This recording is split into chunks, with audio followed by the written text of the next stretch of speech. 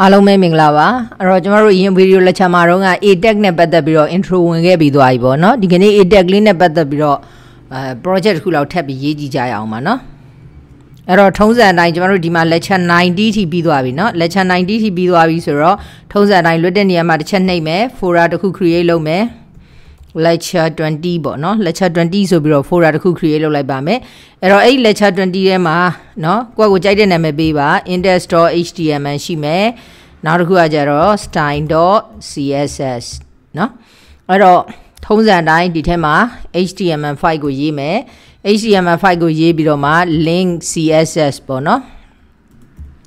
CSS ကိုရေးလိုက်လို့ရှိရင် style.css နဲ့ချိန်ပြီးသားဖြစ်သွားမယ်ပေါ့နော်အဲ့တော့ကျွန်တော်တို့ဒီမှာ အဲဒီဟာတွေထည့်ဖို့ရအတွက် container တစ်ခုထားကြည့်လိုက်မယ်နော် dot container အဲ့ဒီ dot container ထဲမှာမှကျွမ်းနေပြီးတော့ဒီ icon လေးနဲ့ပုံလေးတစ်ပုံထည့်ချင်တာပေါ့နော် icon လေးနဲ့ပုံလေးတစ်ပုံပုံလေးတစ်ပုံထည့်ချင်တာဆိုတော့အဲ့ဒီ icon လေးထည့်လို့ရဖို့ရအတွက်ဆိုကြပါစို့အဲ bootstrap ရဲ့ icon ကိုသုံးမယ်ပေါ့နော်အဲ့တော့ get bootstrap.com နဲ့ကိုသွားလိုက်မယ်သွားပြီးသွားတဲ့အခါကျ icon ကိုလိုချင်တာဖြစ်တဲ့အတွက် icon နဲ့ကိုသွားပါမယ်เนาะအဲ့တော့ကျွန်မ ဘာလေးလိုချင်လဲဆိုတော့ list ပုံလေးပေါ့နော် menu ဆိုတော့ list ပုံလေးလိုချင်တယ် list လို့ရိုက်ထည့်လိုက်မယ်အဲ့ဒါဆိုလို့ရှိရင်ဒီမှာ list ပုံလေးထွက်လာပြီဒီပုံလေးလည်းလှတာပဲเนาะအဲ့တော့ကဲဆိုကြပါစို့ဒီ list လေးပေါ့နော်อืม ကဲပါဒါလေးပဲယူလိုက်ပါမယ်ဒီ list လေးကို right click ထောက်ပြီး open link နဲ့ new tab လုပ်လိုက်မယ်အဲ့တော့ bootstrap icon တွေကိုသုံးမယ်ဆိုကျွန်မအရင် video lecture တွေမှာပြောခဲ့တဲ့အတိုင်းပဲเนาะ bootstrap icon လေးတွေကိုသုံးမယ်ဆို CDN ချိတ်ပေးဖို့လိုတယ်အဲ့တော့အောက်မှာရှိတဲ့ CDN ကိုသွားပြီး copy ကူးမယ်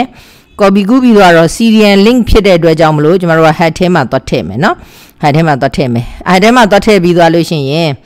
เนาะကျွန်တော်တို့ခုနက right click ထောက်ပြီးဖွင့်လိုက်တဲ့ဒီဟာလေးကိုသွားမယ်သူ့ရဲ့ eye လေးကို copy ကူးမယ်အဲ့ဒီ eye လေးကိုကျွန်မဒီ container ထဲကိုထည့်လိုက်မယ်เนาะအဲ့တော့ container ထဲကိုထည့်လိုက်မယ် container ထဲကိုထည့်လိုက်ပြီးတော့ဒီကောင်ဒီအာဆိုကြပါစို့ main menu ပေါ့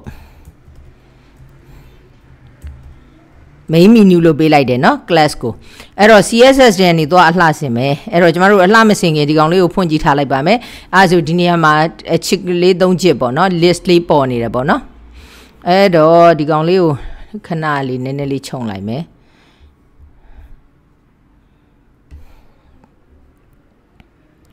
နည်းနည်းလေးခြုံလိုက်မယ်ဟုတ်ပြီ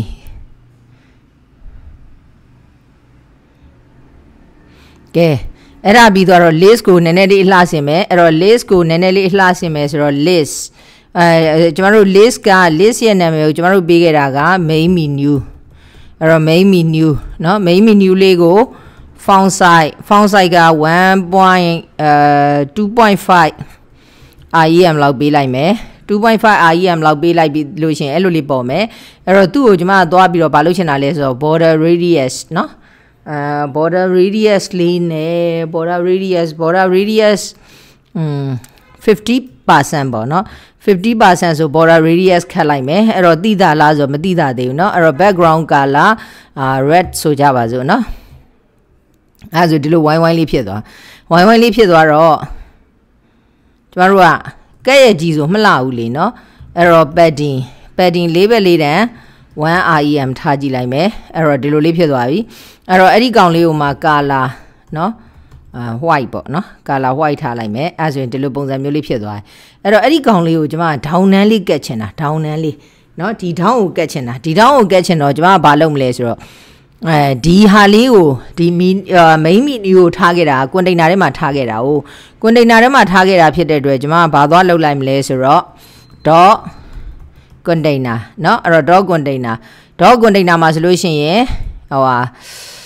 position ပေါ့เนาะ position parent ကို relative ထားလိုက်တယ် relative ထားလိုက်ပြီးတော့ဒီကောင်ကို position absolute เนาะ position absolute ထားလိုက်မယ် position absolute ထားလိုက်လို့ရှင်သူ့ပုံလေးကဒီလိုလေးဖြစ်သွားတာနော်အဲ့တော့ pad ကအပေါ်အောက်ကြီးရဲ့ရှည်ရင်းနဲ့တော်ပြီးအပေါ်အောက်ကို0.5 rem လောက်ပဲထားမယ်ဘေးတိုက်ကို1 rem နော်ဒီလိုပုံစံမျိုးပေါ့0.7ဒီလိုပုံစံမျိုးလေးဖြစ်သွားတယ်အဲ့ဒီပုံစံလေးကိုဘေးကတ်ချင်တာနော်အပေါ်ကတ်ချင်တာဘေးကတ်ချင်တာအဲ့တော့ left ကို0ထားလိုက်မယ်အဲ့တော့ left ကို0ထားတယ်ကျမတို့ဟိုဟာလေးထားဖို့ကြံခဲ့သေးတယ် ဟို margin ကိုမချားခိုင်းရင်မချားနဲ့ဆိုတာလေးလေเนาะကျွန်မပြောနေကြတာလေး အဲ့တော့အဲ့ထဲမှာ margin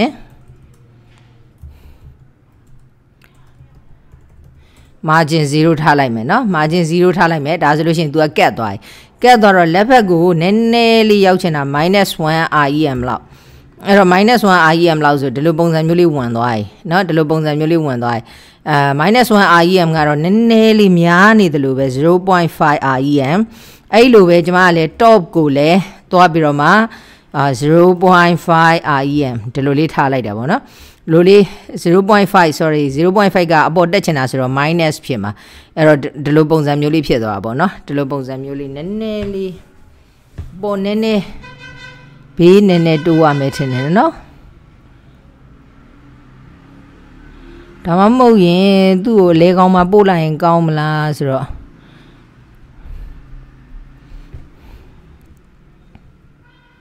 ဒီတောင်လေးမှာပဲထားလိုက်ပါမယ်ကဲ0.5ဒီကောင်ကို0.7 REM 0.7 REM ဆိုဘေးကတ်သွားပြီဟုတ်ပြီ အဲဒီလိုပုံစံမျိုးလေးပေါ်ကျင်တာပေါ့နော်လိုပုံစံမျိုးလေးပေါ်ကျင်တော့ဟဲရီပေါ်လေးကိုနှိပ်လိုက်တာနဲ့သူနဲ့သက်ဆိုင်ရာမီနူးလေးတွေဘေးမှာလာပေါ်ကျင်တာနော်အဲ့တော့မီနူးလေးတွေလာပေါ်ကျင်တယ်မီနူးလေးတွေလာပေါ်ကျင်တော့ဆိုတော့မီနူးတွေကိုကျမတို့က icon လေးတွေထည့်မှာပေါ့နော်အဲ့တော့ဒီကောင်ကအပေါ်က main menu main menu ပြီးသွားတော့အောက်မှာ menu လေးတွေလာမှာပေါ့နော်အဲ့တော့အောက်မှာအောက်မှာကျမတို့က menu လေးတွေလာမှာဖြစ်တဲ့အတွက်အဲဆိုကြပါစို့ menu menu container လို့ပေးလိုက်တယ်เนาะအဲ့ဒီ menu container ထဲမှာမှအဲ menu container လို့ပေးလဲရတယ်ရတယ် menu container လို့ပေးလိုက်မယ်တစုစုကျင်လို့လေเนาะအဲ့တော့အောက်မှာဗာလေးတွေပါမလဲဆိုတော့ menu လေးတွေပါမှာပေါ့เนาะ menu လေးတွေပါတော့အဲ့ဒီ menu လေးတွေနေရာမှာကိုကနေဘာ icon လေးတွေပေါ်ကျင်တာလဲကိုကြိုက်တဲ့ icon လေးတွေထည့်လို့ရတယ်เนาะကိုကြိုက်တဲ့ icon လေးတွေဥမာဒီဒီဒီဒီပုံစံလေးလိုချင်တယ်နှိပ်လိုက်တယ်เนาะဒီကောင်နည်းနည်းပြန်ချဲ့လိုက်မယ် ဒါကို copy ကူးမယ်ထုံးစံတိုင်း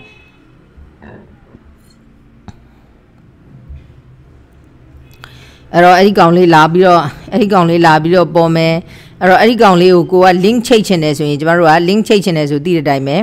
အဲ A HREF ဟုတ်တယ်နော်ဒီထဲမှာကဘယ်သွားရမယ်မသိသေးဘူးဆိုတော့ hash ထားလိုက်မယ်ပေါ်ချင်တာစာစာ icon လေးပေါ်ချင်တယ်ပေါ့နော်အဲ့တော့ကျမတို့ကဒီ icon လေးပေါ်ချင်တာဆိုတော့အဲ့တော့ ပြီးမှ icon လေးတွေကိုပြောင်းရအောင်เนาะ icon လေးတွေပြောင်းအောင် icon လေးတွေကိုခုကျမဒီ icon လေးပဲထည့်ထားကြည့်လိုက်မယ်เนาะဒီ icon လေး၄ခု၅ခုလောက်ပေါ့နော်၅ခုလောက်ထည့်ထားကြည့်လိုက်မယ်အဲ့တော့၅ခုလောက်ထည့်ထားကြည့်လိုက်မယ်ဆိုရင်ကျမတို့ဘယ်လိုလေးပေါ်နေမလဲတွားကြည့်အောင်နော်ဘယ်လိုလေးအဲဘယ်လိုလေးပေါ်နေမလဲဆိုတာတွားကြည့်ကြည့်မယ်တွားကြည့်ကြည့်မယ်ဆိုတော့ကျမတို့ browser မှာတွားကြည့်မှာပေါ့နော်အဲ့တော့ browser မှာဒီမှာဒီအပေါ်လေးတွေမှာထပ်ပြီးပေါ်နေနော်အဲ့တော့ကျမတို့ကလူလူပုံမဲသုံးခဲ့တာ哦လူပုံမဲသုံးခဲ့တော့ အဲလူပုံလေးကအဲ့ဒီအပေါ်လေးမှာထပ်ပြီးပေါ်နေတာပေါ့နော်ထပ်ပြီးပေါ်နေတော့ကျမတို့နည်းနည်းအလှဆင်ပါမယ်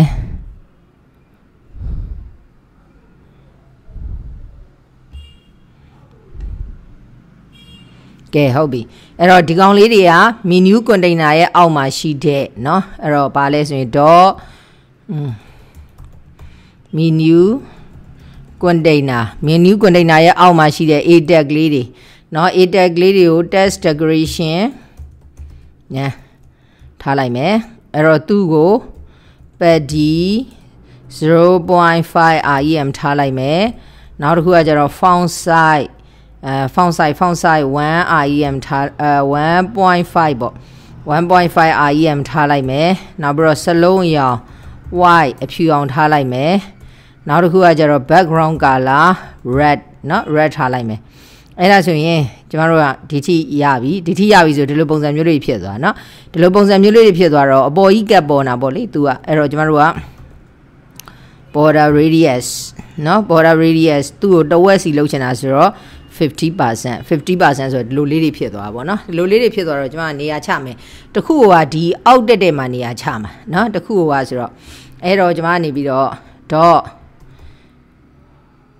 menu container အောက်မှာရှိတဲ့ a သည်เนาะဘာဖြစ်ခဲ့ရင်လဲဆိုတော့ anti-h chain anti-h chain ဆိုတော့1เนาะ first chain လေးသာဖြစ်ခဲ့မယ်ဆိုရင်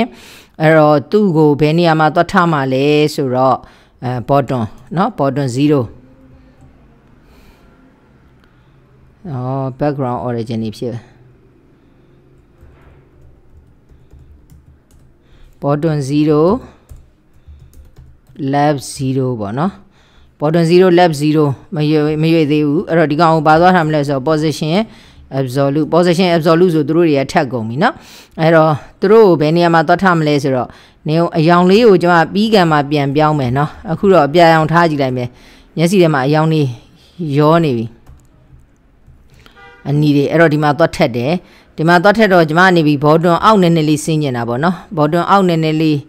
အောက်နည်းနည်းလေးဆင်းကျင်တာအောက်နည်းနည်းလေးဆင်းကျင်တာဆိုတော့အနှုတ်ဖြစ်မှာပေါ့လေ အဲ့တော့နော်အနှုတ်ဆိုကြပါစို့40ပစ်စဲအနှုတ်40အနှုတ်40ပစ်စဲ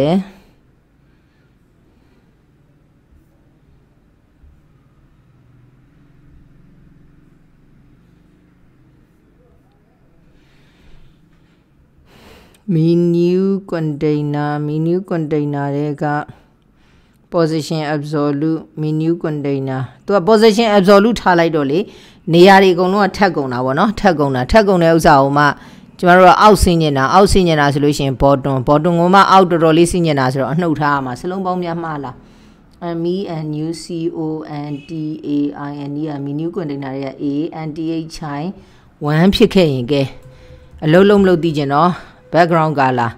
background color ကိုပန်းရောင်လေးပြောင်းလိုက်မယ်အဲ့တော့အလုံးလုံးသွားတယ်ဒီမှာဒီနောက်ကကောင်လေးဒီမှာသတိထားမိလားမသိဘူးเนาะပန်းရောင်လေးပြောင်းသွားတယ် ပန်းရောင်လေးပြောင်းသွားတော့ဒီကောင်ကိုအနှုတ်100ပြည်စယ်လောက်ထားကြည့်လိုက်မယ်အာဘော်တွန်ပေါ့နော်ဘော်တွန်ကိုအော်ပြည်စယ်ကနှစ်ခါထက်နေသည်အနှုတ်100ပြည်စယ်အဲ့ဆိုဒီအောက်လေးရောက်လာပြီနော်ဒီအောက်လေးရောက်လာပြီရပြီ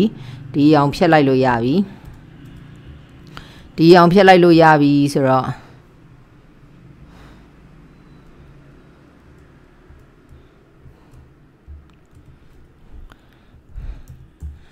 background color light ဒီရောင်လေးထားလိုက်မယ်စလုံးရောင် color black เนาะ color black အဲဆိုဒီနေရာလေးဒီနေရာလေးရောက်တယ်เนาะဒီနေရာလေးရောက်တော့ဒီကောင်လေးကိုနည်းနည်းလေးဖြော့လိုက်မယ်နည်းနည်းလေးဖြော့လိုက်တော့ဒီရောင်လေးဖြစ်သွားမယ်အဲဒီလိုပုံစံမျိုးလေး နော်ဒီလိုပုံစံမျိုးလေးအဲ့တော့အဲ့ဒီကောင်လေးကိုအောက်နဲ့နဲ့ထက်ဆင်းမယ်အောက်နဲ့နဲ့ထက်ဆင်းမယ်ဆို140လောက်ထားကြည့်လိုက်မယ်140လောက်ဆိုရင်ဒီလောက်လောက်လေးဒီမှာပေါ်သွားပြီနော်အဲ့တော့သူ့ရဲ့ဝိုင်းတဲ့ပုံစံတိတ်မဝိုင်းမှုဖြစ်နေနော်တိတ်မဝိုင်းမှုဖြစ်နေတယ်ဘေးကိုနည်းနည်းလေးပိုမှအဆင်ပြေမှာပေါ့အဲ့တော့0.8အာ EM လောက်ထားကြည့်လိုက်မယ်များသွားမယ်ထင်တယ်ဟုတ်တယ်0.7လောက်ပေါ့နော်0.7 REM လောက်ထားကြည့်လိုက်မယ်ဒါဆိုရင်ဒီလိုပုံစံမျိုးလေးဖြစ်သွားမယ်ဖြစ်သွားပြီးတော့ကျွန်မဒီကောင်ကို copy ကူးလိုက်မယ်ဒီကောင်ကို copy ကူးလိုက်ပြီးတော့ဒီမှာထည့်လိုက်မယ်ထည့်လိုက်ပြီးတော့ NTH chain 2ပေါ့နော် chain 2သာဖြစ်ခဲ့တယ်ဆိုရင်အဲ့တော့ background color background color ကိုကျွန်မဘာသွားထားမလဲဆိုတော့အယောင်ဖြော့တာလေးတွေပဲသွားထားမယ်เนาะအဲ့တော့ light ဒီအယောင်လေးထားလိုက်မယ်အဲ့တော့ဒီအယောင်လေးထားလိုက်မယ်ထက်သွားရင်နှစ်ခုကနေရာချင်းနေရာချင်းထက်တော့သူ့ကိုအပေါ်နဲ့နဲ့တက်ချင်တာဆိုတော့ကျွန်မအနှုတ်တရာလောက်ပဲထားလိုက်မယ် ဒီလိုလေးဖြစ်သွားတယ်လိုလေးဖြစ်သွားပြီးတော့လက်ညာဘက်ကိုရွှေ့ချင်တာညာဘက်ကိုရွှေ့ချင်တာဆိုတော့ညာဘက်ကို50 pixel လောက်ထားကြည့်လိုက်မယ်အဲအဲ့ဒါဆိုရင်ဒီလိုပုံစံမျိုးလေးဖြစ်သွားရင်နော်ဒီလိုပုံစံမျိုးလေးအဲ့တော့အဝါရောင်လေးကို background color အဝါလေးကကြတိတ်မတိတာဘူးဖြစ်နေနည်းနည်းရင့်ပေးလိုက်မယ်နော်အဲဒီလိုလေးဖြစ်သွားတယ်လိုလေးဖြစ်သွားတော့သူ့ကိုတရား၄ခုလောက် ကိုက၅ခုတောင်ပြခြင်းနေဆိုရင်တော့အောက်နည်းနည်းဆင်းအောင်မှရမှာเนาะအောက်နည်းနည်းဆင်းအောင်မှရမှာဆိုတော့ကတရား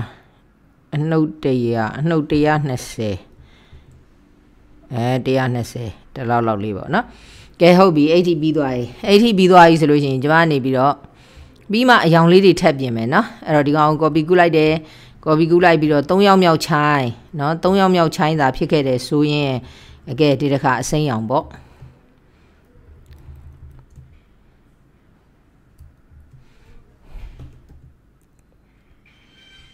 green green ဆိုတော့စလုံးရောင်က white ပေါ့အဲ့တော့စလုံးရောင်စလုံးအရောင် WHIT white green ကို gray တဲ့อืม green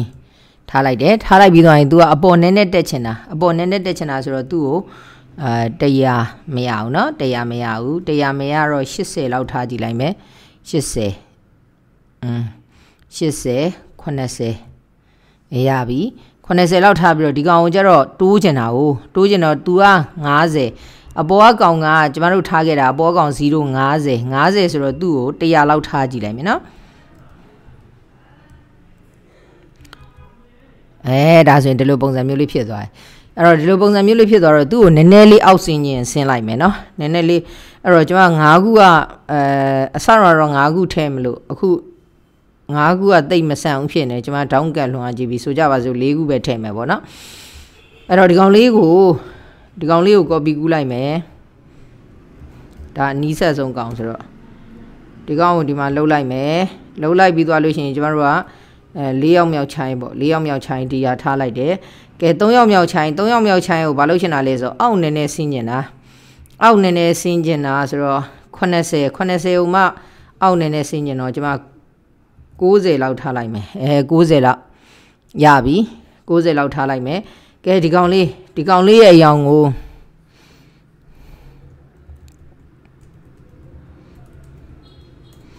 violet လေးထားလိုက်မယ်ဟုတ်ပြီအဲ့တော့အဲ့ဒီကောင်လေးကို အဲ့ကောင်လေးကိုအပေါ်တက်ရမှာပေါ့နော်အပေါ်တက်ရမှာအပေါ်တက်ရမှာဆိုတော့အပေါ်တက်ရမှာဆိုတော့အနှုတ်90လောက်ပဲထားလိုက်မယ်အနှုတ်90ပေါ့နော်အနှုတ်90အနှုတ်90အနှုတ်90အနှုတ်90ပြီးတော့သူ့ကိုဟိုးဘက်လေးနည်းနည်းလေးရွေးကျင်တာပေါ့နော်ဘယ်ဘက်လေးနည်းနည်းလေးရွေးကျင်တာရွေးကျင်တော့130လောက်ထားလိုက်မယ်အာ sorry 130 130လောက်ထားလိုက်မယ်ဒီလောက်လောက်လေးဖြစ်သွားရင်နော်အဲ့တော့လောက်လောက်လေးဖြစ်သွားတော့အစိမ်းအောင်လေးကိုအောက်နေနေဆင်းမယ်အောက်နေနေဆင်းမယ်ဆိုတော့ဒီကောင်ကို100လောက်ထားကြည့်လိုက်မယ်100လောက်ထားကြည့်လိုက်လို့ရှိရင်1000ဖြစ်သွား100လောက်ထားကြည့်လိုက်မယ်အဲဆိုရင်ဒီလိုပုံစံမျိုးလေးပေါ့အဲ့ဒါဆိုရင်အဝါလေးကိုအောက်နေနေဆင်းလိုက်လို့ရှင်လှသွားပြီအဝါလေးကိုအောက်လေးဆင်းနေတာနော်အဝါအဝါအဝါဆိုတော့ဒီကောင်နော်အောက်နေနေဆင်းနေတာအောက်နေနေဆင်းနေတာဆိုတော့ကျွန်မ130လောက်ထားကြည့်လိုက်မယ် အဲ130လောက်ထားကြည့်တယ်ဒီလိုပုံစံမျိုးလေးပေါ့နော်အဲအဲ့တော့သူ့ကိုကအပေါ်နည်းနည်းတက်ရင်ကောင်းတယ်အပေါ်နည်းနည်းတက်ရင်ကောင်းတယ်ဆိုတော့125တကယ်တော့စဝိုင်းနေပါရင်နဲ့တွက်ရင်ပိုကောင်းတာပေါ့နော်125မကောင်းဘယ်ဘက်နည်းနည်းရွှေ့60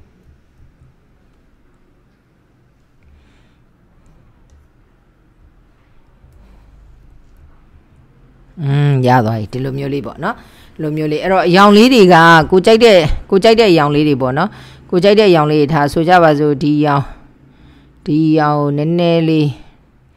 อืมတခြားအယောင်ပြောင်းကြည့်လိုက်မယ်အဲဒီအယောင်လေးယူလိုက်မယ်ဒီအယောင်လေးဆိုတော့အပေါ်ကအယောင်ကို white နဲ့ပေါ်လိုက်မယ်ဒီလိုမျိုးလေးပေါ့နော်အဲဒီလိုမျိုးလေး white လေးနဲ့ပေါ်လိုက်တယ်ဒီအဝါအဝါကိုဘာအောင်ပြောင်းအောင်မသိ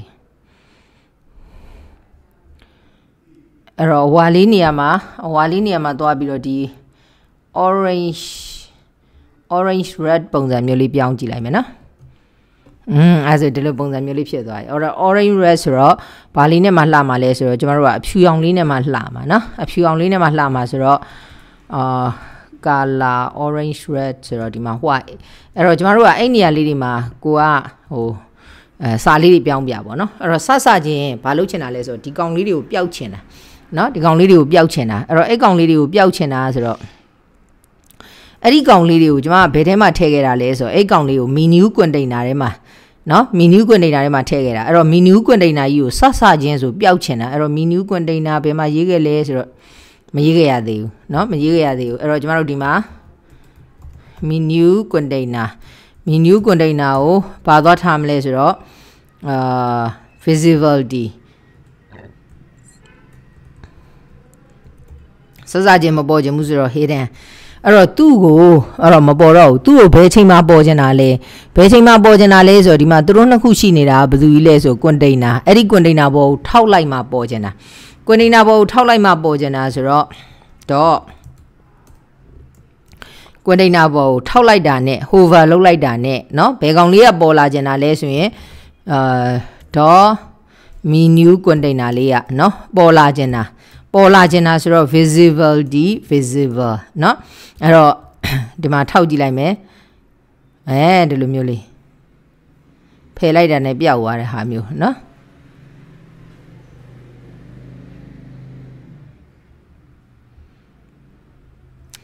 အဲ့တော့ကွန်တိန်နာကနော်ကွန်တိန်နာကဘယ်လောက်ထိအောင်နေရာယူထားလဲကျမတို့ဒီမှာလေအဲဒီမှာ absolute ဟို position absolute မသုံးရင်ရောเนาะ position absolute မသုံးရင်ရောပေါ်ဟိုဟာဟိုဖြစ်သလားဆိုတော့ဒီမှာ position absolute မသုံးရင် तू ကဟိုနေရာတော့ရွှေ့လို့မရဘူးပေါ့နော်နေရာတော့ရွှေ့လို့မရဘူးဆိုတော့ a tag လေးတွေကို position absolute တော့ထားရမယ်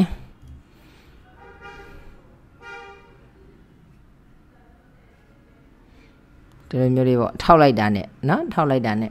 ဒီလိုပုံစံမျိုးလေးပေါ့เนาะအဲ့လိုပုံစံမျိုးလေး menu လေးတွေ